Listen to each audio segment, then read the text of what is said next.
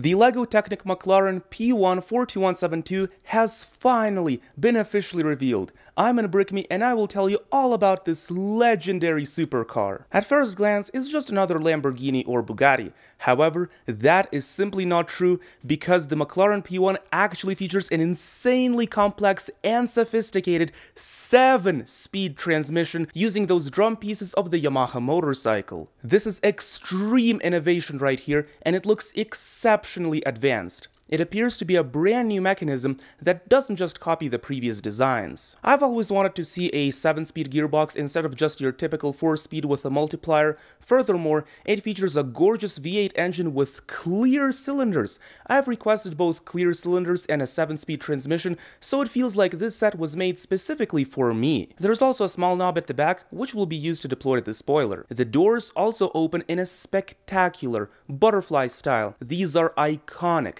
In fact, they actually use shock absorbers for the opening mechanism. This makes the doors spring-loaded and is extremely unusual for Technic cars. Of course, we also get suspension. I absolutely love this orange color scheme, and we even get some brand new panels, such as these four tapered panels which attach to the other side of the mudguards. I would like to remind you that, since I already have this set in my possession, I will have a full review of this set very soon, so make sure to subscribe and turn on notifications to be the first to see a highly detailed explanation of its complex transmission. No pressure though, no pressure. Personally, I greatly appreciate the rear section of the car. It leaves me in awe, and I love the incorporation of these bionicle tooth elements. This gorgeous supercar will be released on August 1st and it will retail for $450 or euro, containing 3,893 pieces. In comparison to the Daytona Beach, which retailed for the same exact price, the McLaren has 115 more pieces, while also containing a much more advanced gearbox. This automatically makes the McLaren a much better deal than the Daytona from two years ago. Will you be getting this set on August 1st?